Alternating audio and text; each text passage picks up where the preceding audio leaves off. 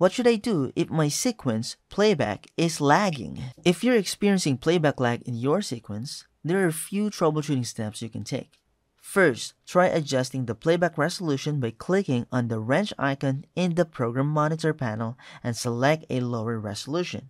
To do that, just click on the wrench icon, then choose Playback Resolution and select a lower resolution like 1 4th. These can help improve playback performance, especially with high resolution footage. Additionally, you can optimize your project settings by clicking on File at the top and General. From there, you can adjust settings like render quality and preview file format to improve performance.